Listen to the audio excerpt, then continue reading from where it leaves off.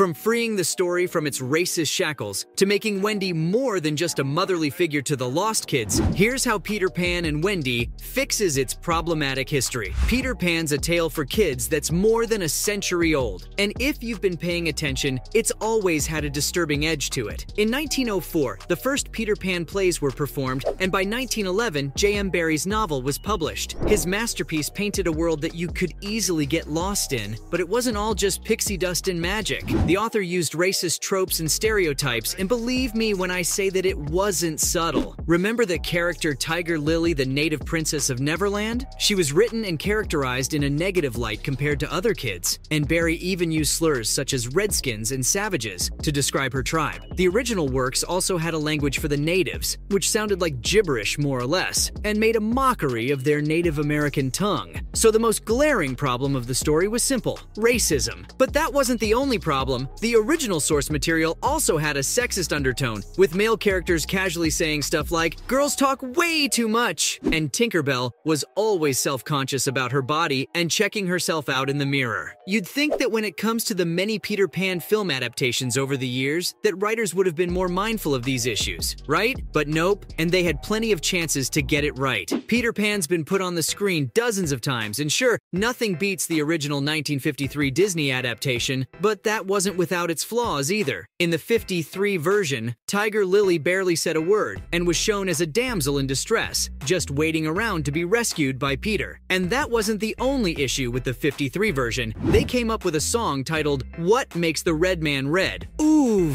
According to Anne Hiebert Alton, an English professor at Central Michigan University and the editor of the scholarly edition of Peter Pan, Barrie's work is problematic for modern audiences and deeply rooted in the way things were at the time. Because of the controversial nature of the 1953 film, Disney Plus put a content advisory notice on it and was scrapped from children's profiles entirely. There's been other problematic film adaptations of Peter Pan as well. Remember 2015's Pan? It was a live-action adaptation of the classic that had Rooney Mara as Tiger Lily. But fans were quick to point out that the filmmakers were whitewashing Tiger Lily. David Lowery's movie gets right to the heart of the matter, and Peter Pan and Wendy does a great job of fixing this problematic history. For starters, it finally does something about the stereotypes, and Tiger Lily emerges as a full-on leader, acting as a mentor to Wendy as she goes through her own struggles of growing up. Lowery wanted to ensure that the role, which had been wronged time and time again, got the cultural respect it deserved. He worked with native consultants Don Jackson and Dr. Kevin Lewis to help nail the character, and this time around, Tiger Lily's played by Cree actor Alyssa Wapanatahk. Her goal was to make the character as authentic as possible, and she even consulted her grandmother and brought her cultural background into the mix, which elevated Tiger Lily from the one-dimensional character fans saw in the past.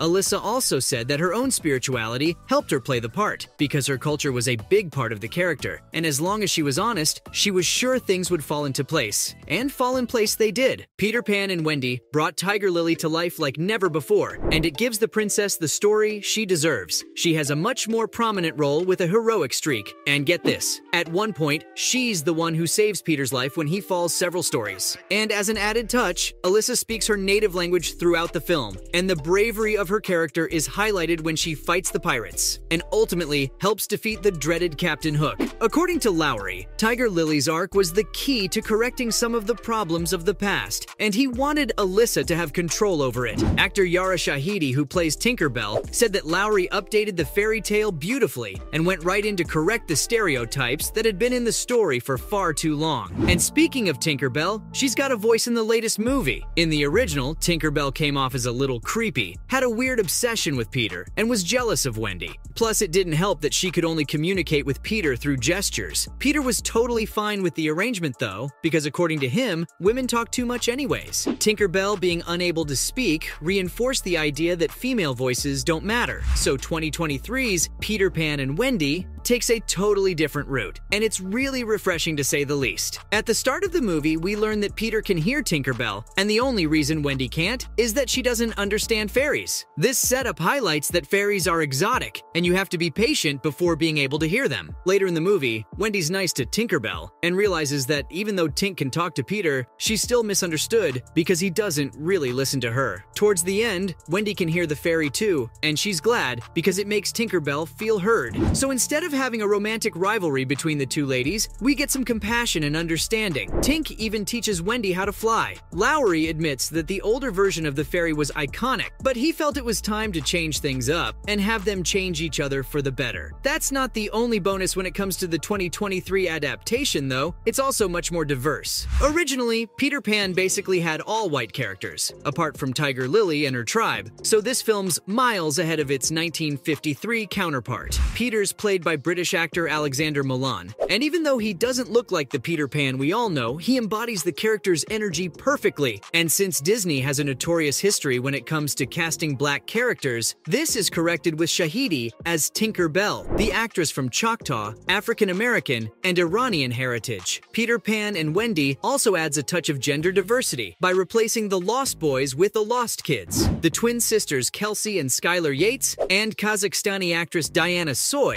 played Lost Girls in the gang. The movie also made history when they cast Noah Matthews Matofsky as Slightly, the leader of the pack. Did you know that Noah's the first kid with Down syndrome to land a major role in a Disney movie? Lowery said he's got so many nieces and nephews who'd all be thrilled to go on an adventure, and he thinks that kids all around the world should be able to see themselves as part of the story too. And the cast totally reflects that. The brilliance of the casting also shows in Captain Hook's character too. Jude Law really elevates the bitter pirate. As the story progresses, it's revealed that the captain is a complex individual, which adds an extra layer of sympathy to his frightening image, and Jude nails it. If you look at the character's wardrobe, this time around Hook has a different look than what we're used to, and that was intentional. Law said he wasn't all that into the earrings and necklaces and wanted to portray a tactical looking pirate. His rendition of Hook definitely shows signs of aging, and he even dyes his hair to hide it, but there's no doubt that things are falling apart for him. Plus, Hook's untidiness is another sign of him getting older. Jude's performance really makes him stand out from past renditions of the character, and speaking of standing out, Wendy gets a total makeover in Peter Pan and Wendy too. Instead of making Wendy a classic damsel in distress stereotype waiting to be rescued, this movie makes her the emotional center of the story. She compliments Peter with her